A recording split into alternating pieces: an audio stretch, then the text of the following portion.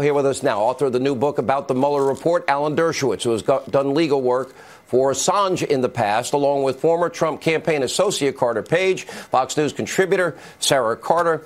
Let me begin with you, Carter, because this directly impacted you. The fact, if if the Grassley Graham memo is true, and the bulk of the information was Hillary Clinton's bought and paid for Russian dossier that its own author doesn't stand by, then that would mean it would have been impossible to corroborate and verify. That means your constitutional rights were violated, and they used you to backdoor their way into all things that were Donald Trump's campaign. Your reaction? Absolutely right, as you've been saying for the last couple of years, Sean. And the sad part about it is, in the DNC context, you know, you mentioned Mr. Assange. I was a week, one week after you had your interview on Jan- January 3rd, 2017 is when they released the DNC's dodgy dossier. And then what they accused me of being responsible for uh, WikiLeaks uh, in conjunction with uh, Paul Manafort, who I've also never met or spoken with in my entire life. So just shows how ridiculous. You know, and, and let me go to you, Professor Dershowitz here. I, I look, I know I know the Pentagon Papers, that case in and out, and the New York Times v. United States. They didn't steal the information. They didn't conspire to steal the information. Assange says he didn't in any particular case, that these were sources given to him. Would that apply in this particular case, in your view? Yes. In fact, I just wrote a column called Is This the Next Pentagon Papers Case? I was involved also as a lawyer in the Pentagon Papers case. I represented Senator Mike Gravel, who read the Pentagon Papers into the congressional record. If they had indicted him for merely publishing classified material, this would be the Pentagon Papers case, modern version. But they were very clever, and they indicted him on a very factually questionable basis for encouraging Manning to try to get information, for asking Manning for the first part of uh, a password into a computer. It factually, it's a very weak indictment, but it doesn't indict him for publishing classified material. One of the reasons for that is Great Britain probably wouldn't extradite somebody who was charged merely with publishing information.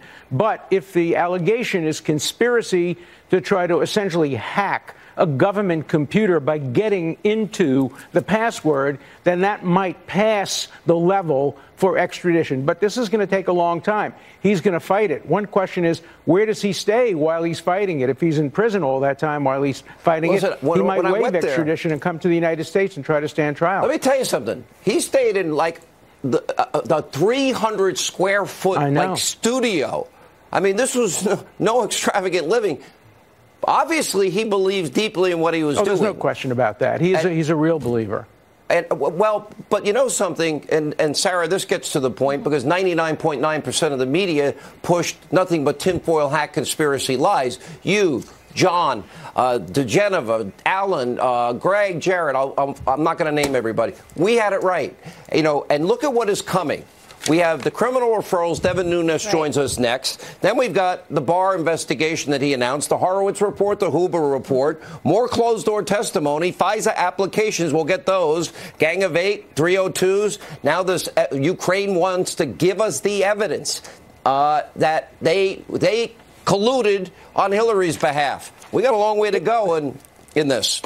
Oh, we, we certainly do, Sean. I think one of the important things, and I'm just going to go back to Julian's case for one second, you know, is the fact that the United States government didn't charge him with conspiring with Russia, that he was, they didn't charge him with being a Russian agent, which I thought was very interesting. They went back to Chelsea Manning, and as and Alan Dershowitz said, you know, they, they've gotten this very thin, they're walking on a very thin line, saying that he conspired with Chelsea Manning to retrieve a password. So this is going to be a really fast fascinating case. And as far as what is happening now with the investigation and what Devin Nunes is doing to hold people accountable, we're looking at conspiracy, obstruction, global leaking. Uh, remember all the relationships these people had right, with reporters and journalists. Here. Do you want all that to happen now, Carter? Because this impacted your life. Look, I want the truth out there. The quicker we can get to the, the bottom of this, that's the most important thing to uh, get rid of this big obstacle that's been in, uh, caused so much damage to our country and to this administration. And, and here is something where civil libertarians, conservatives can get together. We all have to stand up against the FISA court being able to do what they did on Bingo. the basis of the kind of information they had. It was a Every lie. American should care about Alan, that. they Right. committed a fraud on the court. That's that's a felony. You couldn't get them off. Felonies. all right, I got to roll. Thank you all.